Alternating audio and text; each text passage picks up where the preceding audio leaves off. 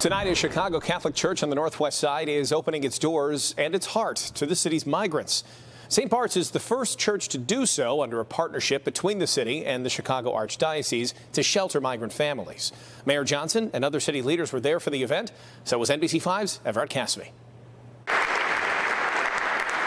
Chicago Mayor Brandon Johnson and Cook County President Toni Preckwinkle gave a warm welcome to migrants staying at this new shelter at St. Bartholomew Catholic Church. The church, located in Chicago's Portage Park neighborhood, is the first of its kind intergovernmental and interfaith family shelter. We're going to do everything that in our power to bring people together the workforce, county, city, state, the philanthropic community, the faith community, all of us are leaning in. In an agreement with the City of Chicago, Cook County, the Archdiocese of Chicago, and the Zakat Foundation, the new shelter comes at no cost to the city.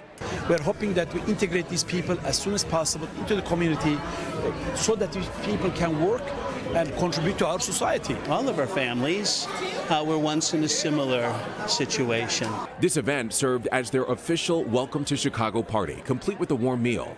However, while many are welcoming these new neighbors with open arms, some in the neighborhood have many concerns. This woman shared her reservations but asked we not reveal her identity. I'm not opposed to immigrants coming in. I just think that they should take the proper channels and the avenues that are set in place uh, because we really don't know who's crossing these borders. These people are not being screened. They're coming in, and I mean, anybody can have any type of ulterior motive. There is hesitation, and I understand some of the hesitation, but during our meeting that we did, a community meeting to propose this idea, we had an overwhelming positive response. The Archdiocese and Zakat Foundation tell me that there is no 60 day shelter limit here. Right now, they have a six month agreement and will determine what happens next as that time approaches. In Portage Park, Everard Cassimy, NBC 5 News. Our thanks to Everard.